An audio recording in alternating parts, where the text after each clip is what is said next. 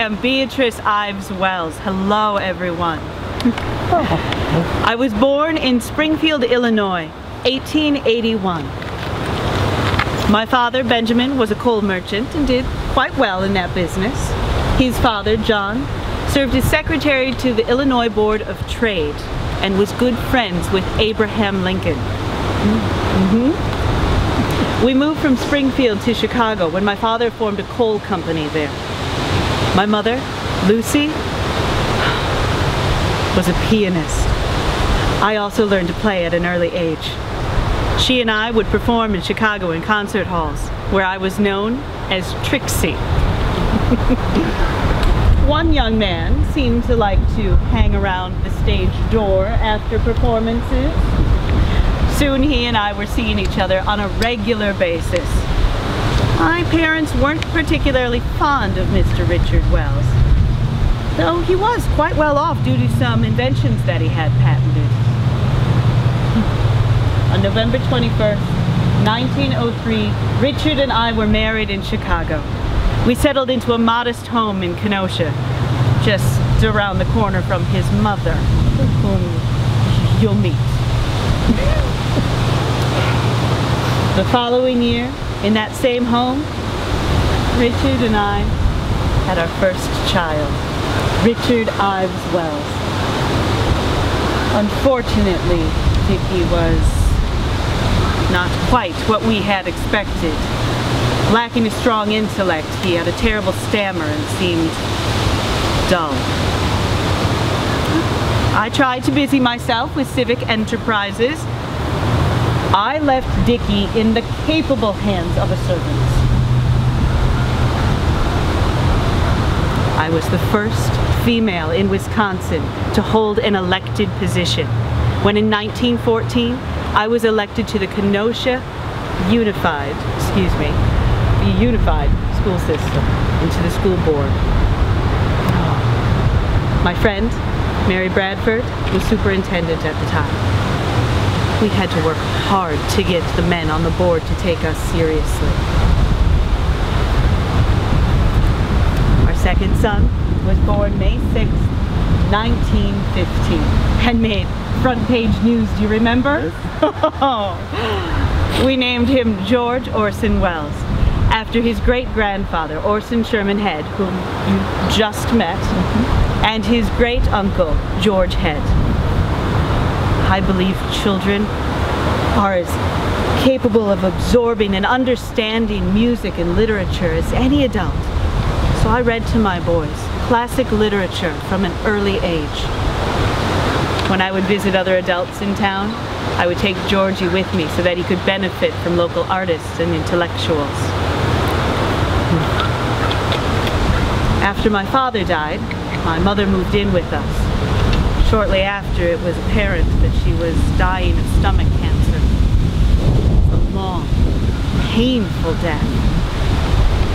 And when the morphine no longer alleviated her pain, her screams of agony permeated our home.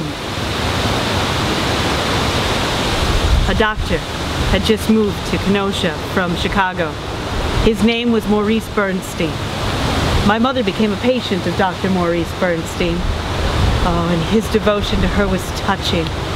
I was drawn to him, and he to me and little Georgie. He was intrigued with Georgie's intellect. Soon Maurice became a regular visitor to our home, much to my husband's chagrin. Richard and I grew further apart. Maurice gave me the attention that Richard never did.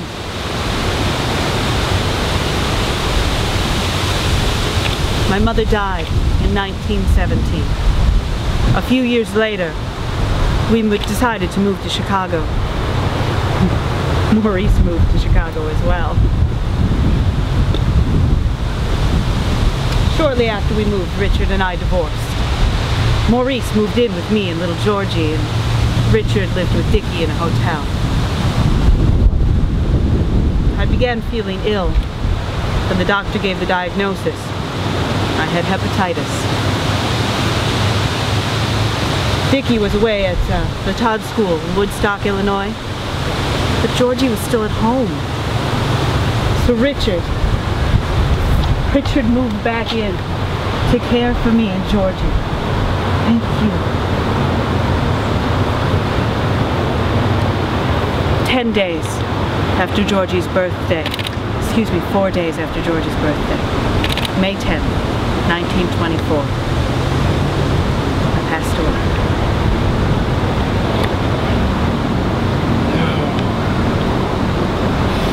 Beatrice Ives was a beauty. she was intelligent. Intelligent, yes. But oh, what a mother.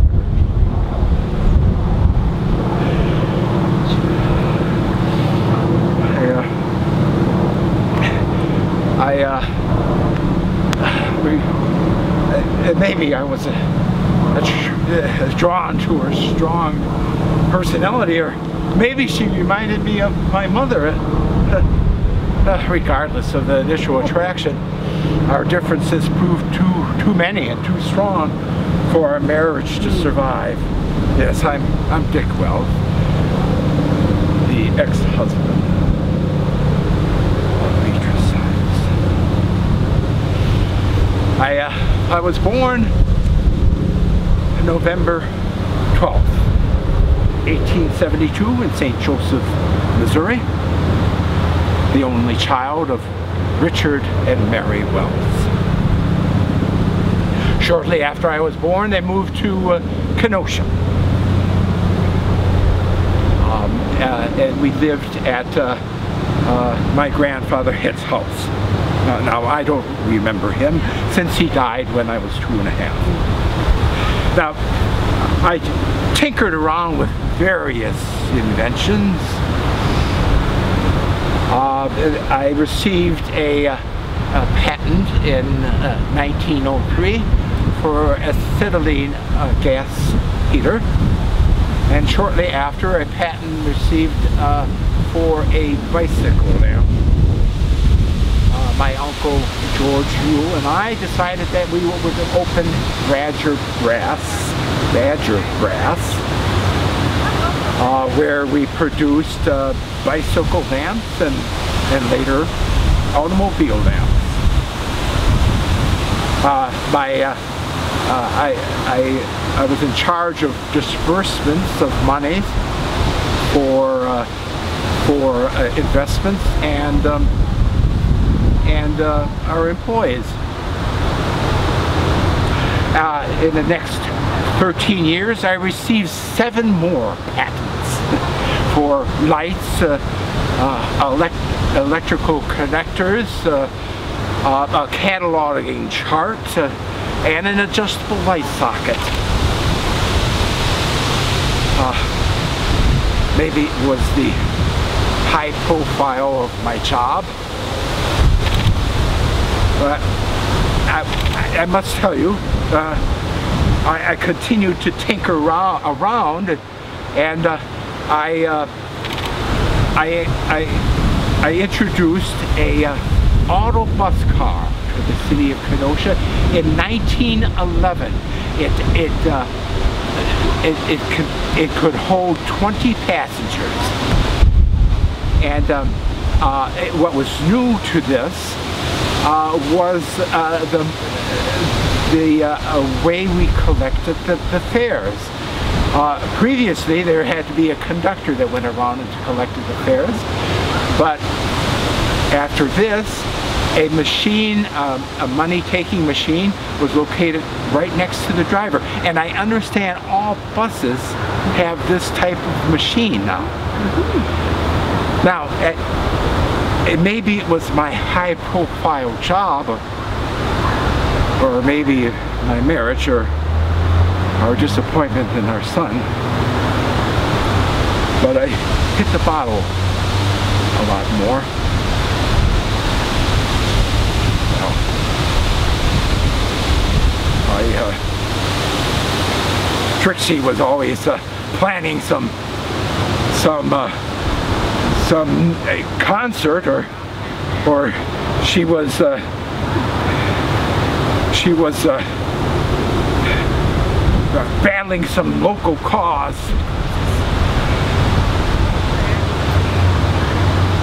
I, uh,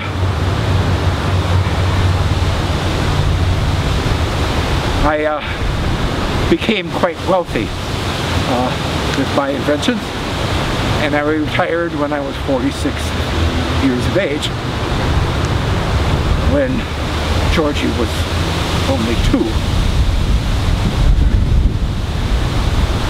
That same year, Mother Lucy died. And a few years later, we moved to Chicago.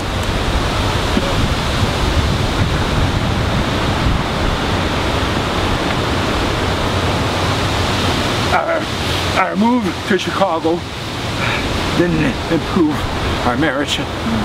So I, I moved out and then we got a divorce.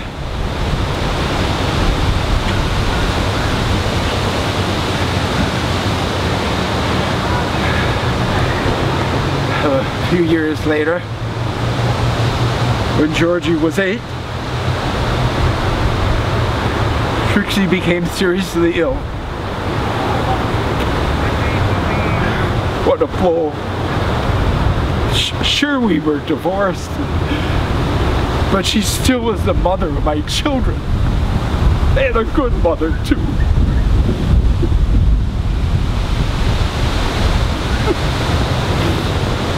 I, I moved back in and Maurice and I took care of her until the bitter end.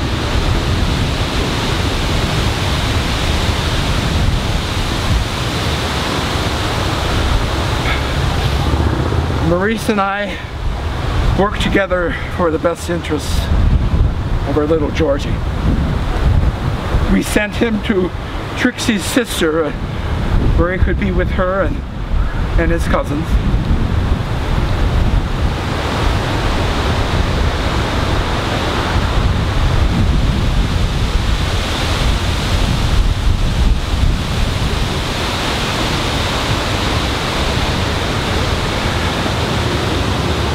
We uh, we uh, uh, Maurice and I agreed that little Georgie needed formal education, so I I sent him to Todd School in Woodstock, Illinois. Same place there that Dickie went to for a short time. When Dickie was 23, he was committed to the Kankakee Mental Health Institute for the next 10 years. In 1930, I took Georgie on a trip with me to China and Japan. It's the last good time I can remember. I died in my hotel room December 28, 1930. Georgie was only 15 and an orphan. now who would take care of our little Georgie?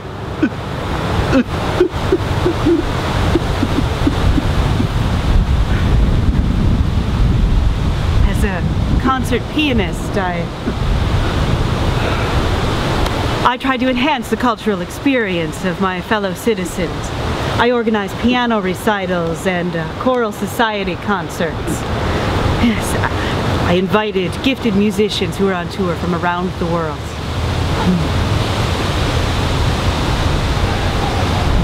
He didn't, yeah, Richard didn't always oh. run with such highbrow. I'm, I'm not into that highbrow No, you always called it that. I, if you ask me about music,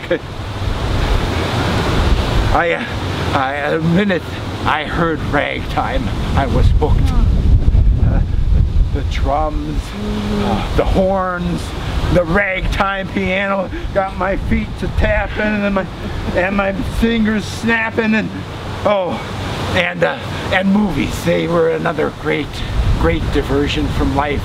uh, I could go to a movie and, and, and imagine that I was in a far off land, in, in, in an exotic land, living in a new way. And if you could just see the negative influence movies have on our youth. That is why I headed the censorship board, protesting the immorality of this debauchery disguised as entertainment. Oh, get off your high horse, Trixie. It all this is fun and, and a good good time, and and uh, none of the people are concerned about the things that you're concerned concerned with. It's entertainment for Pete's sake.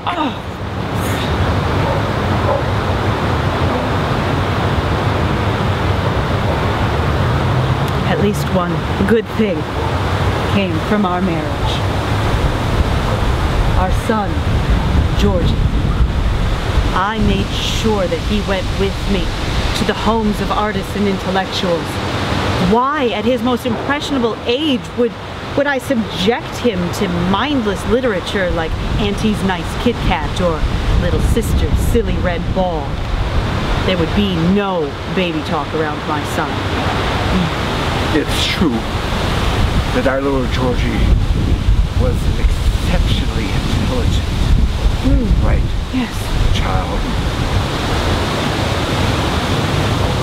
He he would not be inhibited by by uh, uh, his searches for for the things that interest him. We gave him full rein. Uh, Not everyone agreed with it. well, not all people in, the in the town agreed with our hands-off approach, but he got the last laugh. Yes. Yes, he did. Our Georgie did well, and I'm sure everyone, everyone realized that we had our best interests with Georgie in mind when we gave him that full rein. We took care of our little Georgie.